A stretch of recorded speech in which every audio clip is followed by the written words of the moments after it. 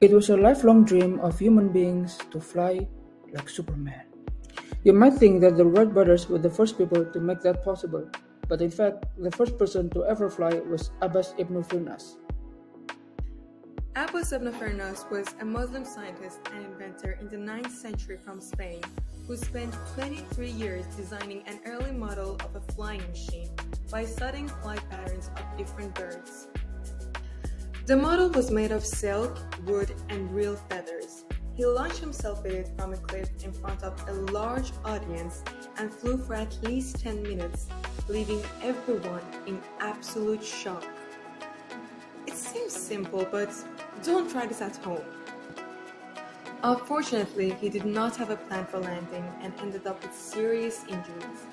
So he spent the rest of his life studying the mechanism of landing and came up with the idea and design of a tail which was then implemented in modern aircrafts. Apart from that, he also made various contributions to other fields such as astronomy and engineering.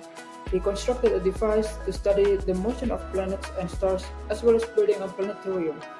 To maintain his legacy, a crater on the moon is named after him. Two of his other inventions worth mentioning are the metronome, which is now used to help musicians play rhythms accurately, as well as reading stone, which is a lens that works like a magnifying glass. As you can see, he was a huge inspiration to many scientists and still is. To honor him, there's a statue of him near Baghdad airport, and a bridge in Spain was named after him. Created using Powtoon.